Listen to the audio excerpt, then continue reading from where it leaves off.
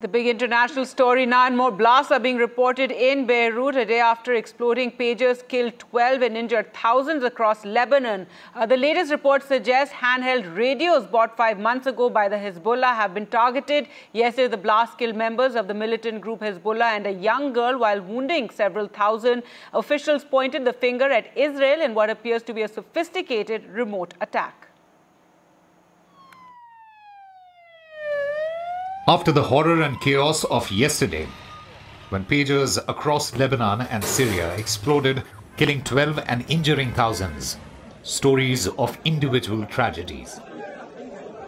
حصيلة الشهداء حتى اليوم هي 12 شهيد بيناتهم طفلين فتاة عمرها 8 سنوات وشاب صغير عمره 11 سنة بالإضافة لعدة عاملين في القطاع الصحي كذلك كانوا جزء من الشهداء اللي سقطوا برجع بكرر عدد الشهداء حتى الآن هو 12 شهيد Though Israel has neither confirmed nor denied its involvement in the pager blast, it is still the top suspect. But how were the blasts pulled off? To avoid surveillance, Hezbollah had decided to communicate through pagers, as they are tougher to crack. It had received a consignment of 5,000 pagers. According to reports, Israel breached the consignment and planted explosives in the pagers. After Hezbollah received the consignment, it distributed 3,000 pagers.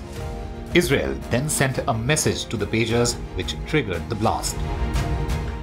A Taiwanese company, initially believed to have manufactured the pagers, has denied sending any pagers to Hezbollah. 那我是金阿波罗负责人哈，那今天来讲的话，跟大家说明这件事情。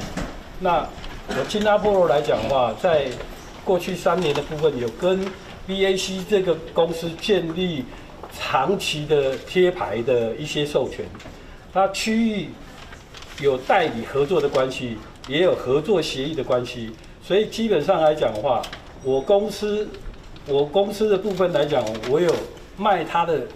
就是用产那个商商标授权给他哦，所以这个产品该这个产品不是阿波罗的该该有的产品。The unprecedented attack risks further escalation of tensions in the Middle East.